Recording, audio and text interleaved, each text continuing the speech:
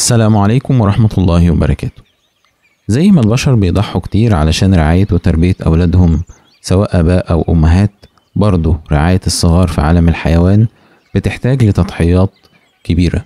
وفي حيوانات بتقدم نماذج من التضحية غريبة وعجيبة صعب تصديقها من أجل صغرهم.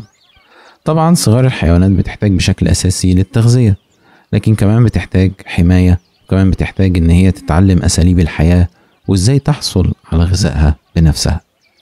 كل دي مهام مطلوبة من الآباء والأمهات في البرية. وهنشوف دلوقتي بعض الأمثلة عن أفضل الآباء والأمهات في عالم الحيوان. بس في الأول اشترك في القناة وفعل زر الجرس علشان ده بيساعدنا إن الفيديو يوصل لأكبر عدد من الناس.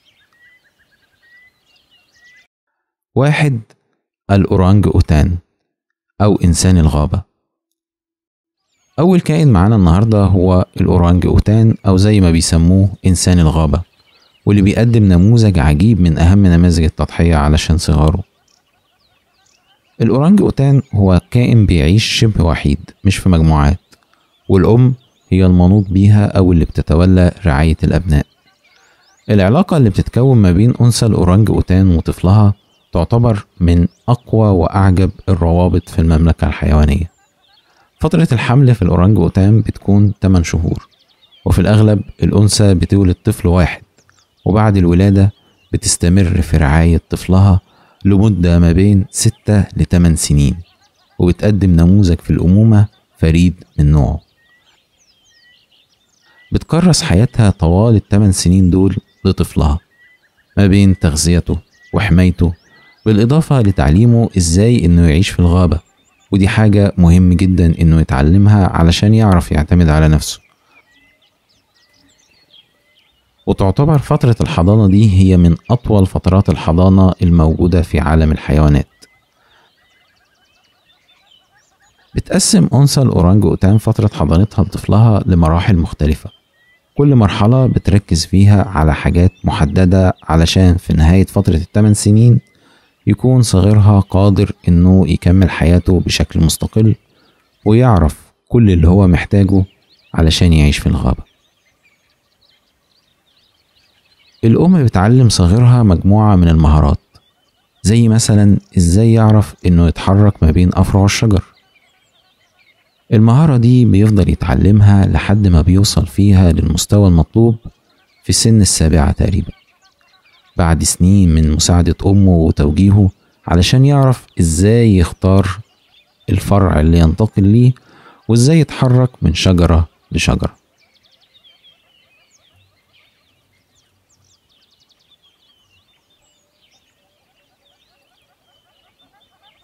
كمان بتعلمه إزاي يلاقي الطعام المناسب في الغابة ودي مهمة مش سهلة. الأورانج أوتان نظامه الغذائي متنوع.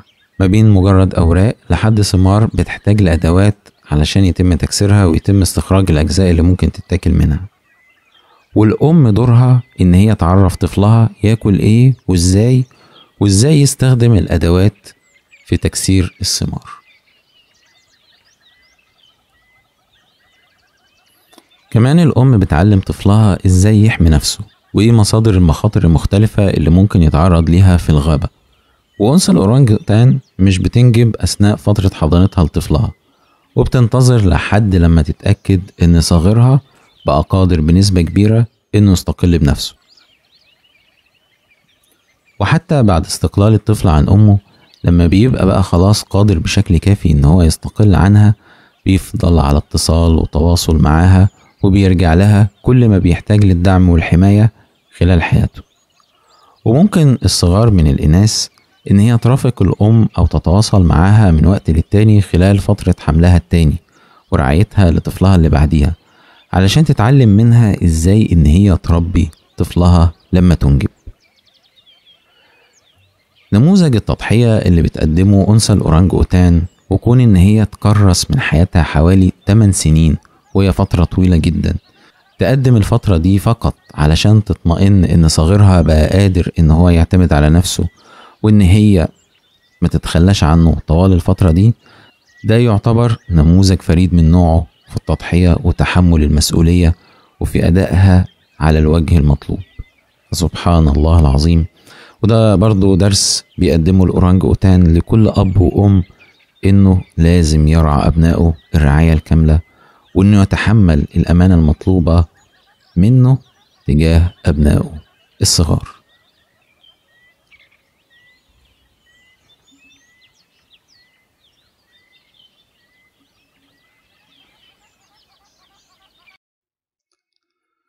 اتنين عنكبوت الصحراء. طبعا كلنا عارفين إن الأم ممكن تعمل أي حاجة علشان ولادها لكن الأم في عنكبوت الصحراء بتضحي تضحية صعب إنها تتصدق. بتضحي بنفسها وبتقدم جسدها بمنتهى الرضا كوجبة علشان يتغذى عليها الصغار في تضحية غريبة الشكل.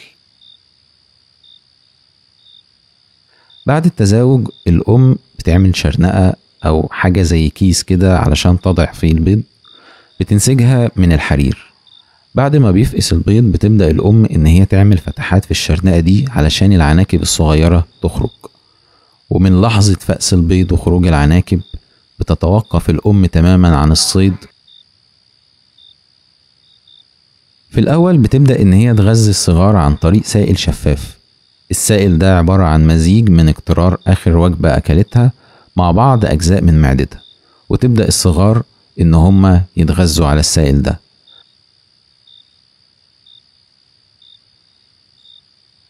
وبعد ما ما بيخلص السائل ده بيبدأ الصغار إن هما ياكلوا في أمهم وهي حية وهي مستسلمة تماما وبتقدم نفسها بمنتهى الرضا من غير حتى ما تحاول إن هي تهرب وبتضحي بنفسها علشان ولادها يتغذوا بشكل كويس ويبقوا قادرين إنهم يواجهوا الحياة.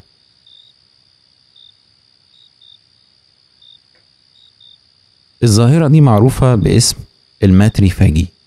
الدراسات كمان وجدت إن في تغيرات بتحصل في جسد الأم بعد فأس البيض مباشرة. الجسد وكأنه بيستعد إن الصغار هتلتهمه. في تغيرات بتحصل بتساعد الصغار إن هما يلتهموا جسد الأم بمنتهى السهولة. وجدوا كمان حاجة غريبة جدا. وهي إن الأم بتبقى حية لحظة التهامها. ولو جيت مثلا لمست رجل من رجليها هتلاقيها بتنقبض وبتستجيب. ده معناه إن هي ما زالت حية وقادرة على الحركة. لكن على الرغم من كده مش بتهرب وبتفضل أبنائها على نفسها. حتى لو كان المطلوب إن هي تتاكل وهي حية. ودراسات برضو لقت حاجة غريبة جدا وهي إن الصغار بيتغذوا على الأم بالكامل ما عدا عضو واحد. العضو ده بيمثل حوالي أربعة في المية من جسد الأم وهو القلب. ودي برضو ملاحظة عجيبة. اللي بتعمله أنثى عنكبوت الصحراء تضحية من نوع غريب. تضحية ملهاش هدف غير هدف واحد. هي إن كل شيء يهون في سبيل إن الصغار دولت يكونوا قادرين على مواجهة الحياة بأنفسهم. فسبحان الله العظيم. ثلاثة بطريق الإمبراطور. الذكر والأنثى في بطريق الإمبراطور بيشتركوا هما الاتنين في تربية الصغار وبيقدموا مثال ونموذج رائع على التضحية والتعاون من أجل رعاية الأبناء. طبعا الظروف اللي بيعيش فيها البطاريق في قارة أنتاركتيكا في القطب الجنوبي هي ظروف في غاية الصعوبة والقسوة. درجة الحرارة بتوصل لسالب 40 درجة مئوية. وسرعة الريح بتوصل ل 90 ميل في الساعة. في الظروف الصعبة دي بيكون صعب جدا إنه يتم رعاية الصغار اللي ما يقدروش إن هم يتحملوا الظروف القاسية والشديدة دي. لكن سبحان الله بيقدم بطريق الإمبراطور نوع فريد من التعاون ما بين الذكر والأنثى علشان يقدروا يتجاوزوا بأبنائهم الشدة والصعوبة ويقدروا إن هم يرعوهم رعاية جيدة. موسم التزاوج عند البطريق بيبدأ في الشتاء وكائن البطريق كائن أحادي التزاوج يعني بيرتبط بأنثى واحدة بس طوال حياته.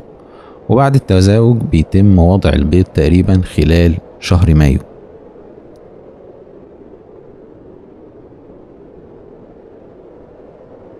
وبعد ما بتضع الأنثى البيض والأغلب إن هي بتكون بيضة واحدة بس بيبدأ الذكر إن هو يتولى مسؤولية حماية ورعاية البيضة دي. أما الأنثى فبتروح إن هي تصطاد في المحيط.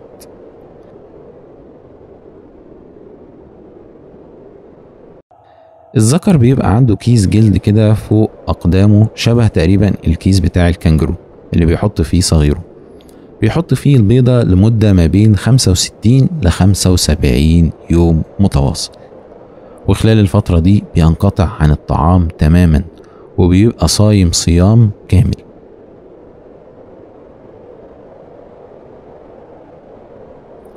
وخلال فترة رعاية الذكر للبيض بيبقى مطلوب منه إنه يحاول إنه يدفي البيض في الجو القاسي البرودة ده. فبيعملوا حاجة غريبة جدا وهي إن الذكور بيتجمعوا حوالين بعض بحيث إن ده يؤدي لرفع درجة الحرارة. وبيبدأوا إن هم يتبادلوا المواقع ما بينهم ما بين الأطراف والمنتصف بحيث كل واحد يحصل على التدفئة المطلوبة.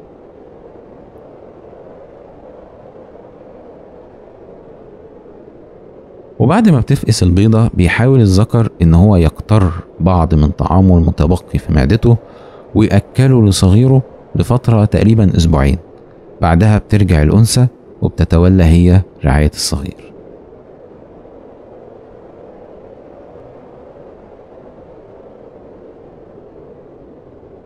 أنثى البطريق بتقدر إن هي تميز صغيرها لما ترجع من وسط آلاف الصغار اللي موجودين. وبتأكله هو بالذات. والأنثى لما بترجع من الصيد بيبقى بطنها مليانة بالطعام من أجل الصغير وبتبدأ إن هي تقتر الطعام علشان صغيرها. الذكر بقى بيتجه للمحيط علشان يصطاد ويحصل على أول وجبة بعد أكتر من حوالي 100 يوم صيام. الأنثى والذكر في البطريق خلال فترة رعاية الصغير بيتبادلوا ما بين واحد بيروح يصطاد والتاني بيستنى مع الصغير لحمايته ولرعايته. وبعد كده اللي كان قاعد مع الصغير بيروح يصطاد وهكذا. وبعد شهرين بيبدأ صغير بطريق الإمبراطور إن هو يقضي وقت أكبر بعيد عن أبويه ويقدر الأبوين إن هم يروحوا يصطادوا مع بعض ويرجعوا لصغيرهم مع بعض.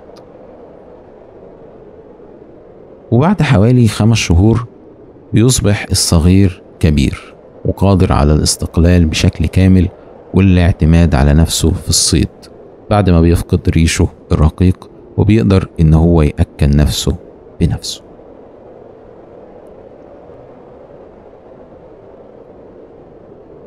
رعاية ذكر وأنثى بطريق الإمبراطور لصغارهم وتضحيتهم بكل شيء علشانه لحد ما بيبقى قادر إن هو يعتمد على نفسه نموذج من أروع نماذج تعاون الآباء والأمهات والتضحية من أجل أبنائهم في عالم الحيوان. فسبحان الخالق العظيم.